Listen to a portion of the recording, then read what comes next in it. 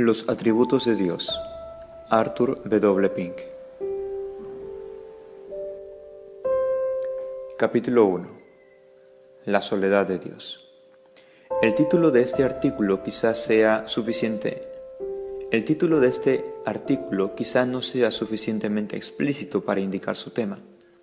Ello es debido, en parte, al hecho de que muy pocas personas hoy en día están acostumbradas a meditar sobre las perfecciones personales de Dios.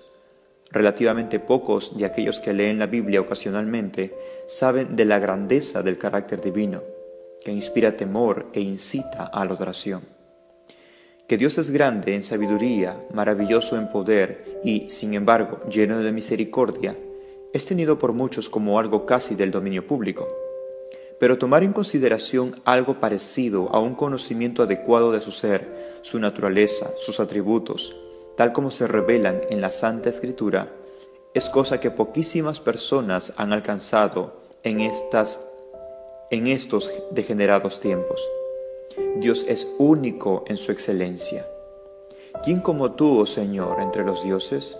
¿Quién como tú, magnífico en santidad, terrible en loores, hacedor de maravillas? Éxodo 15:11. En el principio, Dios. Génesis 1:1. Hubo un tiempo, si un tiempo puede llamársele, cuando Dios, en la unidad de su naturaleza, aunque existiendo igualmente en tres personas divinas, habitaba solo. En el principio, Dios. No había cielo donde su gloria es manifestada particularmente ahora, no había tierra que ocupara su atención, no había ángeles que cantaran sus alabanzas, ni universo que se sostuviese por la palabra de su poder. No había nada ni nadie sino solo Dios. Y esto no durante un día, un año o una época, sino desde el siglo, desde la eternidad. Durante una eternidad pasada, Dios estuvo solo, completo, suficiente, satisfecho en sí mismo, no necesitando nada. Si un universo o ángeles o seres humanos le hubiesen sido necesarios en alguna manera, hubiesen sido llamados a la existencia desde toda la eternidad. Nada añadieron esencialmente a Dios al ser creados. Él no cambia, dice Malaquías 3:6, por lo que su gloria substancial no puede ser aumentada ni disminuida. Dios no estaba bajo coacción, obligación ni necesidad alguna de crear. El hecho de que quisiera hacerlo fue puramente un acto soberano de su parte, no producido por nada fuera de sí mismo, no determinado por nada, sino por su propia buena voluntad, ya que Él hace todas las cosas según el consejo de su voluntad. Efesios 1:11. Que Él creara fue simplemente para su gloria manifestativa. ¿Cree alguno de nosotros ¿Cree alguno de nuestros lectores que hemos ido más allá de lo que la Escritura nos autoriza? Entonces nuestra apelación será a la ley y al testimonio. Levantaos, bendecid al Señor vuestro Dios desde el siglo hasta el siglo, y bendigan el nombre tuyo, glorioso y alto sobre toda bendición y alabanza. Nehemías 9:5 Dios no sale ganando nada, ni siquiera con nuestra adoración. Él no necesitaba esa gloria externa de su gracia que procede de sus redimidos, porque es suficientemente glorioso en sí mismo sin ella. ¿Qué fue lo que le movió a predestinar a sus elegidos para la alabanza de la gloria de su gracia? Fue, como nos dice Efesios 1.5, el puro afecto de su voluntad. Sabemos que el elevado terreno que estamos pisando es nuevo y extraño para casi todos nuestros lectores. Por esta razón, haremos bien en movernos despacio. Recurramos de nuevo a las Escrituras. Al final de Romanos 11, donde el apóstol incluye con al final de Romanos 11, donde el apóstol concluye su larga argumentación sobre la salvación por la pura y soberana gracia, pregunta, porque ¿quién entendió la mente del Señor? ¿O quién fue su consejero? ¿O quién le dio a él primero para que le sea pagado? Versículos 34 y 35. La importancia de esto es que es imposible someter al Todopoderoso a obligación alguna hacia la criatura. Dios no sale ganando nada con nosotros. Si fueres justo, ¿qué le darás a Él? ¿O qué recibirá de tu mano? al hombre como tú dañará tu impiedad, y al Hijo del hombre aprovechará tu justicia. Job 35, versos 7 y 8. Pero no puede, en verdad, afectar a Dios, quien es bendito en sí mismo. Cuando hubieras hecho todo lo que os he mandado, decid, siervos inútiles somos. Lucas 17:10. Nuestra obediencia no ha aprovechado en absoluto a Dios. Es más, nuestro Señor Jesucristo no añadió nada al ser y a la gloria esenciales de Dios, ni por lo que hizo ni por lo que sufrió. Es verdad, bendita y gloriosa verdad, que nos manifestó la gloria de Dios, pero no añadió nada a Dios. Él mismo lo declara explícitamente y sin apelación posible al decir, mi bien a ti no aprovecha. Salmos 16, 2. Todo este salmo es de Cristo. La bondad o justicia de Cristo aprovechó a sus santos en la tierra. Versículo 3. Pero Dios estaba por encima y más allá de todo ello, pues es el bendito. Marcos 14, 61. Es absolutamente cierto que Dios es honrado y deshonrado por los hombres, no en su ser sustancial, sino en su carácter oficial. Es igualmente cierto que Dios ha sido glorificado por la creación, la providencia y la redención. Esto no lo negamos, ni nos atrevemos a hacerlo. Pero todo ello tiene que ver con su gloria manifestativa y nuestro reconocimiento de ella. Con todo, si Dios así lo hubiera deseado, habría podido continuar solo por toda la eternidad sin dar a conocer su gloria a criatura alguna. El que lo hiciera así o no fue determinado solamente por su propia voluntad.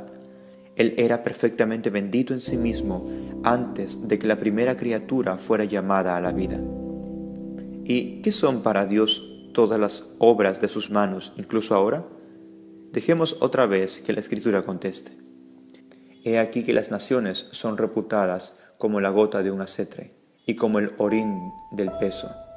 He aquí que hace desaparecer las islas como polvo ni el Líbano bastará para el fuego, ni todos sus animales para el sacrificio. Como nada son todas las gentes delante de él, y en su comparación serán estimadas en menos que nada, y que lo que no es. ¿A qué pues haréis semejante a Dios? ¿O qué imagen le compondréis? Isaías 40 del 15 al 18. Este es el Dios de la Escritura. Sí, todavía es el Dios no conocido, según Hechos 17, 23 para las multitudes descuidadas. Él está asentado sobre el globo de la tierra, cuyos moradores son como langostas. Él extiende los cielos como una cortina, tiéndelos como una tienda para morar. Él torna en nada a los poderosos y a los que gobiernan la tierra hace como cosa vana. Isaías 40, 23 y 24. Cuán infinitamente distinto es el Dios de las Escrituras del Dios del púlpito corriente. El testimonio del Nuevo Testamento no difiere en nada del que hallamos en el Antiguo. No podría ser de otro modo, teniendo ambos el mismo autor. También ahí leemos, la cual a su tiempo mostrará al bienaventurado y todopoderoso, Rey de reyes y Señor de señores, quien solo tiene inmortalidad, que habita en luz inaccesible, a quien ninguno de los hombres ha visto ni puede ver al cual sea la honra y el imperio sempiterno. Amén. Primera de Timoteo 6, 15 y 16. El tal debe ser reverenciado, glorificado y adorado. Él está solo en su majestad, es único en su excelencia, incomparable en sus perfecciones. Él lo sostiene todo, pero en sí mismo es independientemente de todo. Él da a todos, pero no es enriquecido por nadie. Un Dios tal no puede ser conocido mediante la investigación. Él solo puede ser conocido tal como el Espíritu Santo lo revela al corazón, por medio de la palabra. Es verdad que la creación revela un creador y que los hombres son totalmente inexcusables. Sin embargo, todavía tenemos que decir con Job, he aquí, estas son parte de sus caminos, mas cuán poco hemos oído de él, porque el estruendo de sus fortalezas, ¿quién lo detendrá? Job 26, 14. Creemos que el llamado argumento según designio, usado por algunos apologistas sinceros, ha producido mucho más daño que beneficio. Ya que ha intentado bajar al gran Dios al nivel de la comprensión finita y de este modo ha perdido de vista su excelencia única. Se ha trazado una analogía con el salvaje que encuentra un reloj en la selva, quien después de un examen detenido deduce que existe un relojero. Hasta aquí está muy bien, pero intentemos ir más lejos. Supongamos que el salvaje trata de formarse una concepción de este relojero, sus afectos personales y maneras, su disposición, conocimientos y carácter moral, todo lo que en conjunto forma una personalidad. ¿Podría nunca pensar o imaginar un hombre real, el hombre que hizo el reloj, y decir yo le conozco? Tal pregunta parece fútil, pero ¿está el Dios eterno e infinito mucho más al alcance de la razón humana? Ciertamente no. El Dios de la Escritura puede ser conocido solamente por aquellos a los cuales Él mismo se da a conocer. Tampoco el intelecto puede conocer a Dios.